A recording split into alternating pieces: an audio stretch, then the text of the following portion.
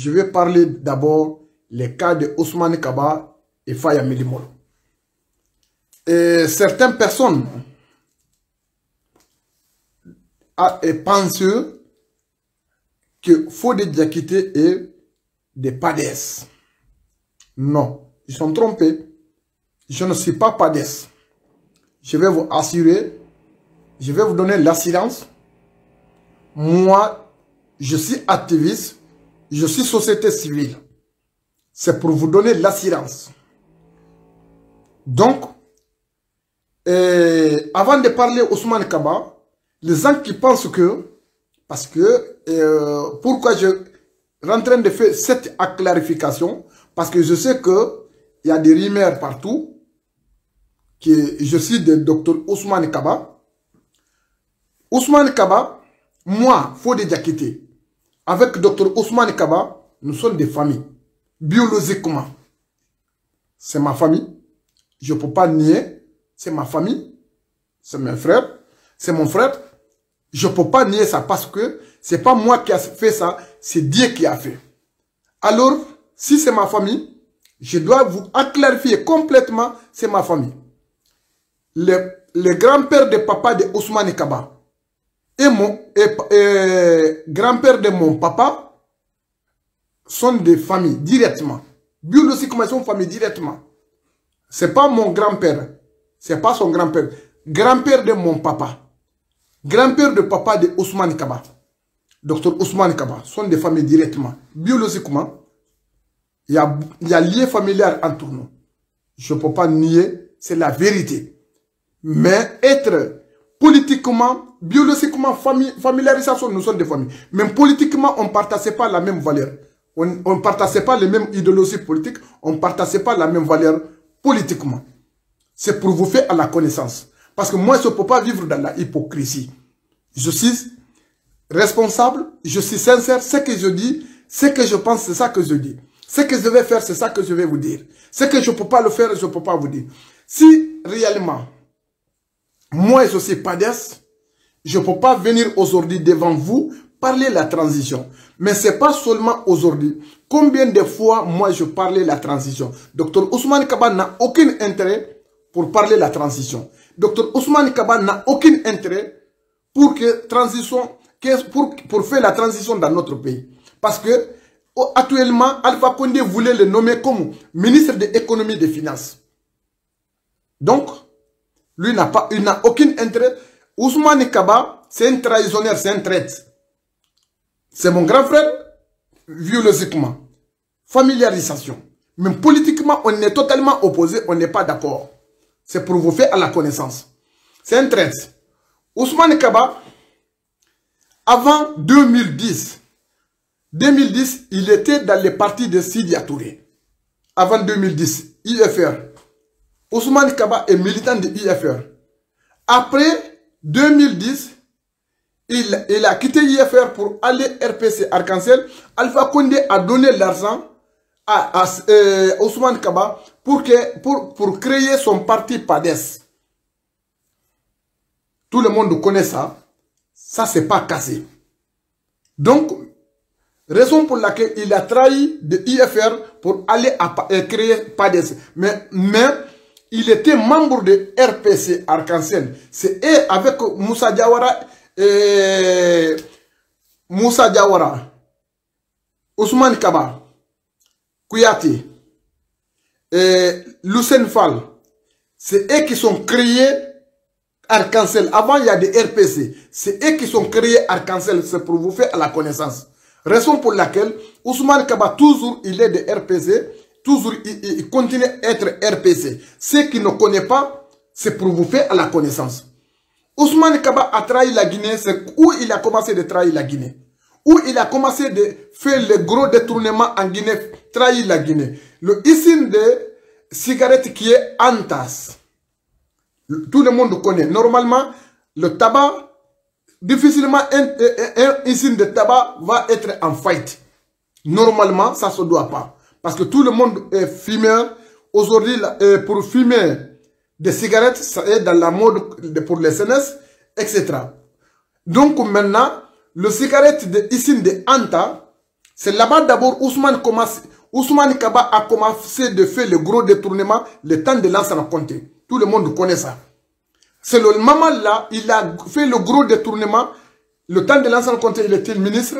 Donc, après, c'est le moment là qu'il est parti avec le détournement, le gros détournement qu'il a fait au sein du gouvernement, le gros détournement qu'il a fait au sein de, ici de Anta, c'est le l'argent là qu'il a réuni, il est parti pour construire des Kofi Annan. Kofi Annan, le propriétaire de Kofi Annan, nous on connaît comment Ousmane Kaba a reçu l'université euh, de Kofi Annan à Conakry. Tout le monde, si tout le monde connaît ça, nous on sait que comment il a reçu ces messages, euh, ici de Anta, et comment, comment il a reçu de, comment dire euh, de l'université Kofi Annan. Donc, c'est pour vous faire à la connaissance.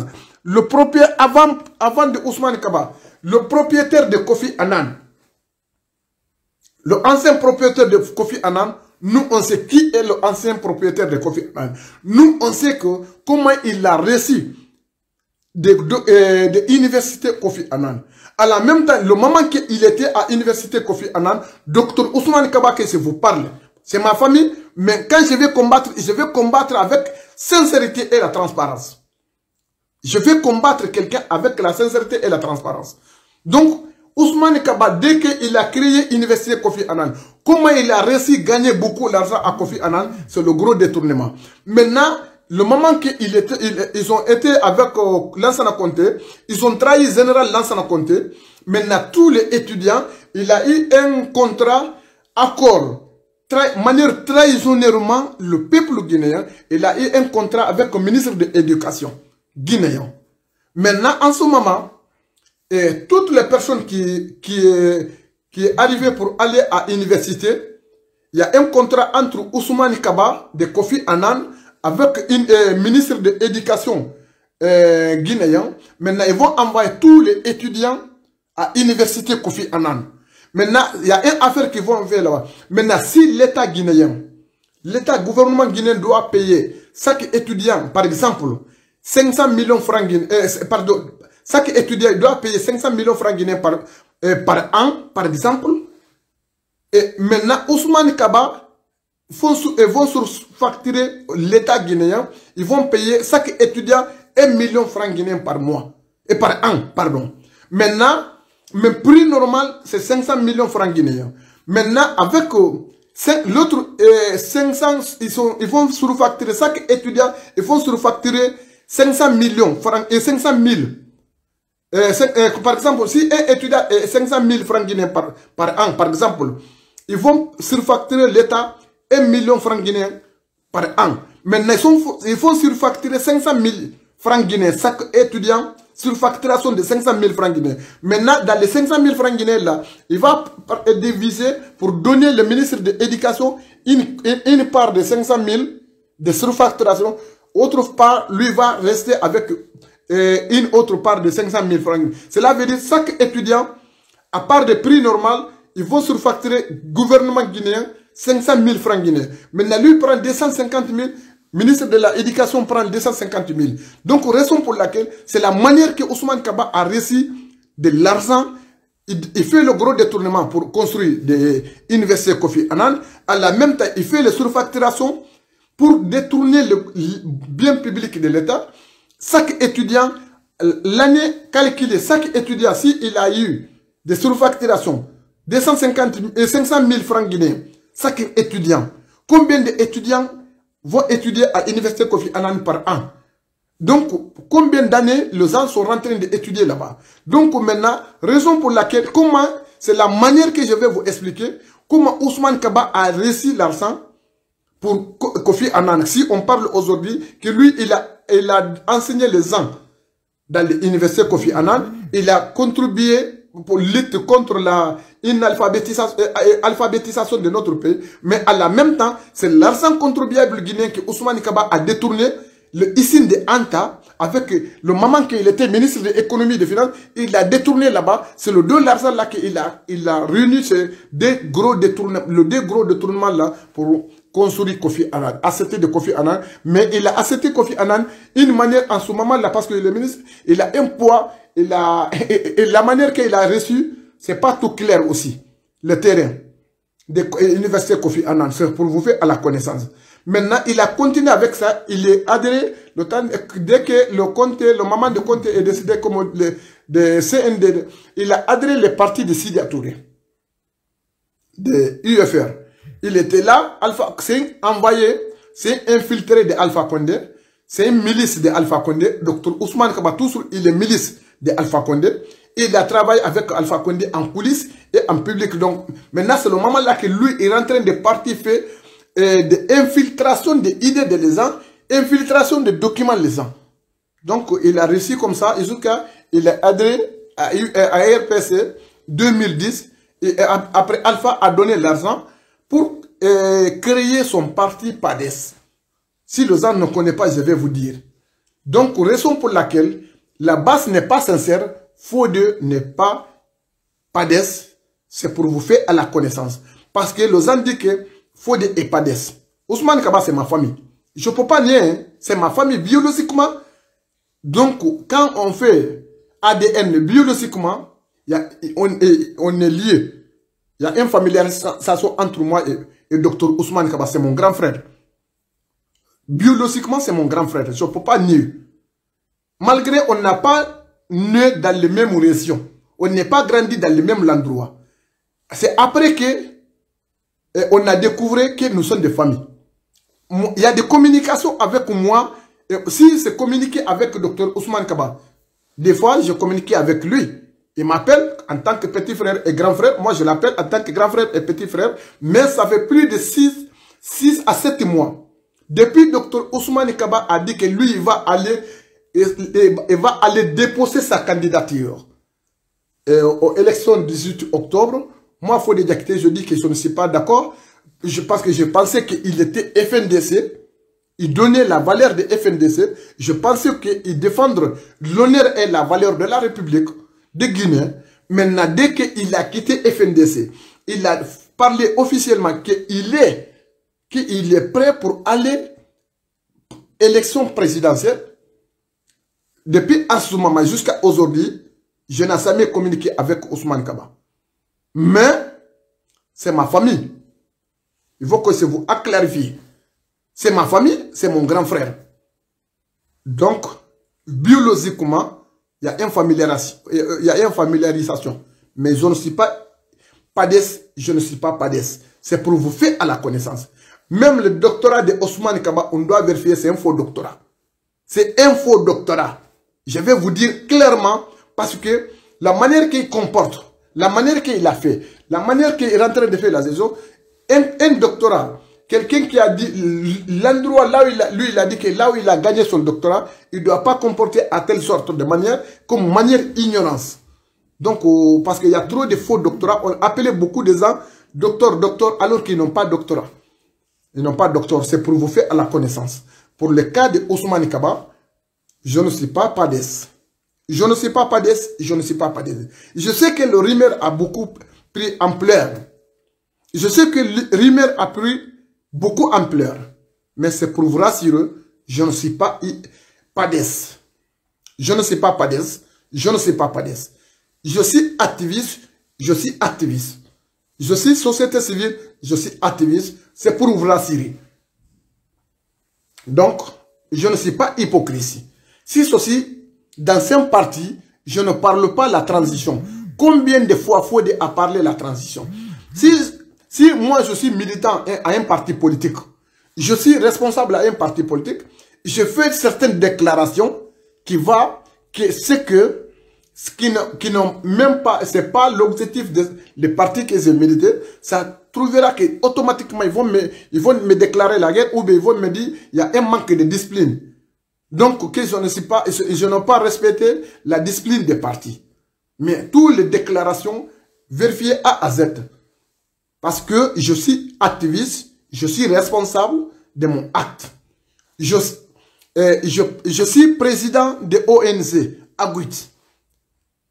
Je suis fondateur et je suis président de ONG Aguit l'association guinéenne pour l'unité et la transparence. Donc, à la même tâche aussi, le coordinateur général de EPZ, euh, Ensemble pour la Guinée, EPZ, c'est pour vous faire à la connaissance. Le nom, c'est EPZ, EPC, la définition, c'est ensemble pour la Guinée. Donc, je suis coordinateur général, je suis le président intérim de, intérim de EPZ. Donc, c'est pour vous faire la connaissance. Les gens qui ne connaissent pas, je suis pour la transition. Je suis pour la transition. On ne peut pas quitter dans la dictature, aller à une autre dictature sans la transition. Je suis prêt pour la transition. Je suis pour la transition. Je suis pour la paix de mon pays. Et les progrès de mon pays. C'est pour vous mettre à l'aise. C'est pour vous informer. Docteur Faya Milimolo, que je vais vous parler. Faya Milimolo, grâce à Abe Silla, parce que c'est Abe qui payait le loyer de Faya Milimolo. Le moment qu'il était à Conakry, Faya n'avait rien. Absolument rien. C'est un pauvre misérable. Faya Milimolo. C'est un opportuniste. Il a un faux doctorat. C'est la même chose que je dis. Euh, Maman Lamini Bangoura, président de cour constitutionnelle. Vous avez vu autographie. Les gens que moi je suis analphabète, que je, que je parle mal en français. Mais moi je parle mieux, euh, moi je parle bon français que Maman Lamini Bangoura. De président de cour constitutionnelle. Donc, Faya Milimolo, il a un faux doctorat, la même chose que euh, Maman Lamini Bangoura a un faux doctorat. Nous, on sait que là où il a étudié, donc on a des informations, c'est un faux doctorat qu'il a eu. Donc maintenant, Faya Milimolo, mon frère, je vais vous appeler, M. Kindi Samba Diallo, je vais vous appeler. Docteur Faya Milimolo, c'est là qui finance Faya Milimolo avant. Donc, raison pour laquelle, comme il est pauvre, en Guinée, si quelqu'un est pauvre, si quelqu'un n'a pas de formation, il n'a pas de profession, qu'est-ce qu'il va faire? Pour arnaquer le peuple, ils vont créer un parti politique. Ils vont dire, ah, je suis euh, opposition. Je suis, je suis opposant que je voulais gouverneur. Parce que c'est la manière d'arnaquer le peuple guinéen. Sinon, il y a plus de 200 et quelques partis constitués en Guinée qui n'ont pas normal. 13 millions d'habitants de la Guinée. Tout le monde crée un parti politique. Ça, c'est la, la démagogie, ça, c'est la pagaille. Dans les conditions normales, dans notre pays. Faya Milimolo, comme il n'a pas de formation, il n'a pas de profession. Maintenant, il faut qu'il va survivre. Il va, il va chercher une autre manière comment il peut survivre. Il peut survivre. Donc, raison pour laquelle Faya Milimolo a fait le bruit. Il, a dit qu'il il a essayé de dire qu'il est parti de, il est le président du bloc libéral, etc., etc., pour, que les gens vont le connaître. En même temps, pour que le moment qu'il a besoin de postes à Alpha Condé, pour que Alpha Condé le donne des postes, en résumé, il a fait un bruit pour aller se manifester que le député de coronavirus ne rentre pas dans l'Assemblée nationale pour que, euh, pour que tous les caméras, tous les enfants concentrés sur lui. Et maintenant, pour que Alpha Condé puisse l'appeler pour proposer un poste. Depuis le moment là que Alpha Condé a proposé des postes, il dit que Faya Milimolo, calmez-vous, je sais que vous êtes dans les besoins. Parce que Alpha Condé a dit que pour être opposant c'est pas facile parce qu'il sait que l'opposant, s'il n'a pas fait le bruit, il ne gagne pas l'argent. Est-ce que vous comprenez? Donc, Alpha Condé a proposé des postes de ministère à, à, à, Faya Milimolo. Alpha Condé a donné l'argent à Faya Milimolo qu'il n'a qu'à aller d'abord pour euh, États-Unis d'Amérique pour calmer d'abord la situation. Pour aller installer l'Amérique par un temps, quelques mois, pour que la situation soit calme. C'est Alpha Condé qui avait donné l'argent après, c'est le moment là qu'il est parti aux États-Unis. Dès que l'élection a procédé, l'investisseur, il est venu. Il est venu parce qu'il y, y, a un convenant entre Faya Milimolo et Alpha Condé. Ça, Faya c'est opportuniste. C'est un pauvre, misérable opportuniste. C'est quelqu'un seulement qui cherche là. Ils n'ont ils, sont, ils ont aucune crédibilité aujourd'hui. Ils ont mis leur crédibilité en danger, en doute à tous les Guinéens que ce soit Dr Ousmane Kaba, toutes les personnes qui courent derrière Alpha Condé, leur crédibilité est en doute avec tous les Guinéens. Et il ne peut pas donner aucune liaison, aucun exemplaire au peuple guinéen. Donc, Faya Milimolo est parti. Il est venu. Maintenant, comme Alpha Condé a trisé, a manipulé, a intimidé, a effrayé, a fait tous les, tous les euh, mauvaises choses pour externiser au pouvoir, maintenant, Faya est venu pour, que, pour aller assister à l'investiture d'Alpha Condé. Mais c'est normal. Faya Milimolo a un compromis avec Alpha Condé. Ah, Faya Milimolo a un accord avec Alpha Condé. Maintenant, Alpha Condé a dit que s'il a gagné, il va nommer Faya Milimolo au poste ministériel. Faya Milimolo n'a pas de profession, il n'a pas de formation, il n'a pas une autre manière pour survivre, chercher à survivre la vie, pour, pour chercher à avancer. Maintenant, s'il n'a pas couru derrière Alpha Condé, est pauvre, misérable, il n'a pas une autre choix. Raison pour laquelle Faya est couru, est couru derrière Alpha Condé. Maintenant, Alpha Condé va le nommer comme ministre, mais c'est un ministre opportuniste qui n'a aucune crédibilité en Guinée, qui n'a aucune confiance ni crédibilité en Guinée. C'est un zéro. Tout ça là, Faya Milimolo, Ousmane Kaba, ils ont été dans le, dans le FNDC, c'est infiltré. C'est une milice de Alpha Condé dans le FNDC. Raison pour laquelle FNDC a eu beaucoup de problèmes, a eu beaucoup de décessions. FNDC a été décrédibilité avec beaucoup de trahison parce que il y a trop d'envoyés de Alpha Condé aux sein de FNDC. Il y a trop de milices. Il y a trop de milices de Alpha Condé aux sein de FNDC. Donc, oh, quand on fait les réunions exécutives de FNDC, Dr Ousmane Kaba est là-bas. Quand on fait les réunions exécutives de FNDC, eh, Faya Melimolo est là-bas. Maintenant, que, tous les décisions qui vont prendre là-bas, eh, est-ce que maintenant, ils vont faire le compte rendu à Alpha Condé? Est-ce que FNDC peut avoir une prospérité? Il peut avoir la force. Comment, quelle manière FNDC peut avoir la force? Raison pour laquelle moi, depuis au début, je dis docteur eh, Adraman Sano. Adraman, eh, Adraman Sano aussi, en tant que président, coordinateur général de FNDC, lui, c'est un, envoyé de Alpha Condé. Adraman Sano a un accord interne avec Alpha Condé. Tout ça là, c'est la démagogie. Moi, je dis, je suis l'un des membres des fondateurs de FNDC en Guinée. L'unique femme qui était le jour, de, le jour de la création de FNDC à Conakry, la femme qui était là-bas, c'est moi qui ai envoyé, c'est notre représentant de notre ONG. Avant de création de FNDC, je, suis je parle en haute voix parce que euh, Adoraman Sano va m'écouter, sûrement, parce que cette vidéo-là, et comment dire, Sekou va m'écouter, sûrement, et Eli Kamano, même Eli Kamano peut être témoin de ça. Lui, il, peut m'écouter. Ibrahim Diallo va m'écouter parce qu'ils vont être témoignants. Tous ces, tous, tous ces gens-là vont être témoignants de ces vidéos. Et la proposition, les premières personnes qui sont fait la proposition pour créer un forum commun à toutes les forces vives de la Guinée, ça venait dans notre organisation de, de Agouit, Association Guinéenne pour l'unité et la transparence. On apprend une photo de interdit de stationnement. On a mis les photos de Alpha Condé dans les, euh, euh, dans les panneaux d'interdiction de, euh, stationnement. Même les gens qui sont dans les groupes de réflexion sur la Guinée, à Telegram, Mamadou Siri Diaby a mis dans son, dans son profil, les enfants témoignent de ça. C'est parce que nous, moi, avec mon bureau exécutif de, de l'association, on a parlé. Après, à la même temps, on a, on a contacté Sekou Koundino. À ce moment, Sekou Koundino sont eh, président de ballet citoyen. Adraman Sano sont président de forces sociales. Donc, on a dit que nous, en tant qu'activistes, nous, en tant que responsables de société civile, on doit créer un front commun là où toutes les forces vives vont, vont se regrouper là-bas. Mais nous, on a, dans notre organisation, on n'a pas besoin d'aucune partie politique, seulement des sociétés civiles une force, une mobilisation, une forme commune de société civile. Nous, on a proposé ça à Sekou Koundino, à Draman Sano, Ibrahim Diallo qui sont... Euh, et, tout ça, les vos témoignants. J'ai appelé Eli Kamano, je l'ai expliqué. Il dit que d'accord, on a eu un consensus. C'est pas nous qui a proposé le nom de FNDC, mais la, organisation de, de forum commun, c'est nous qui avons proposé ça, le proposition de nous. Mais la décision, c'est Adraman Sano, Kundino, etc. qui sont fait la exécutation de ces idées.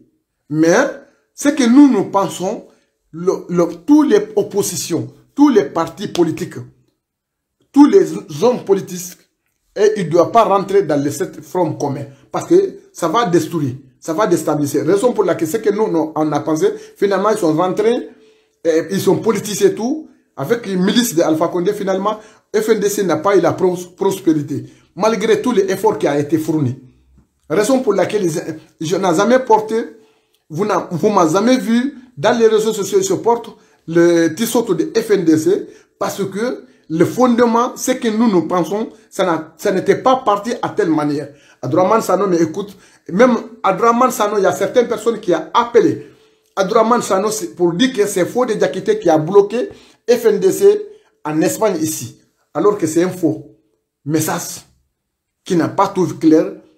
Il y a des objectifs pourquoi moi je donnais ma, ma position. J'ai pris une position. Pourquoi j'ai fait cette respecté. Les principes, ce qu'on a parlé, ça n'a pas été respecté. Raison pour laquelle, donc, au fond de Diakité n'était pas d'accord la manière de fonctionnement de FNDC. Mais Adouraman Sano, Sekou Kounduno, ce n'est pas un infiltré. Je vais vous rassurer, Sekou Kounduno n'a pas une personne infiltrée. Sekou Kounduno est sincère. Sekou Kounduno, c'est un bâtisseur, c'est quelqu'un qui, a un principe, qui a un objectif à viser. Mais Adouraman Sano a une complicité avec Alpha Condé. Je vais vous faire la connaissance de ça aussi. Donc, avec tout ça là, est-ce que FNDC peut avoir des progrès? Raison pour laquelle Fode a pris des positions.